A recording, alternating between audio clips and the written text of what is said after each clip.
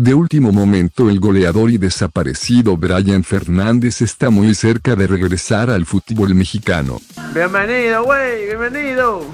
Oye, hey, hey, hey, hey, hey, hey, Bien aficionados así como lo escucharon el ex goleador de los Rayos de Necaxa quien fue figura y tuvo un excelente paso por el fútbol mexicano está muy cerca de regresar, y no, no es con el Necaxa.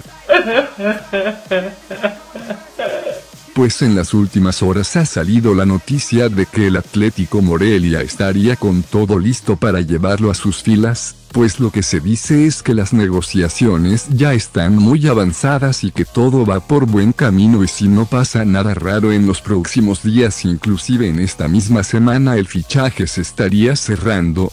No mames.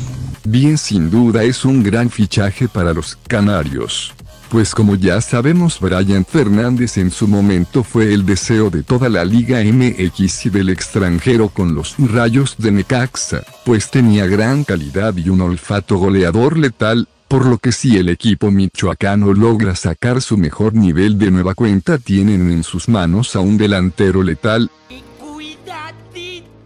pues apenas tiene 28 años aún está joven ahora falta que tenga compromiso y que ya deje a un lado su problema con sustancias ilícitas. Así que si aficionados el perdido está muy cerca de regresar a México. ¡Ay, hermoso!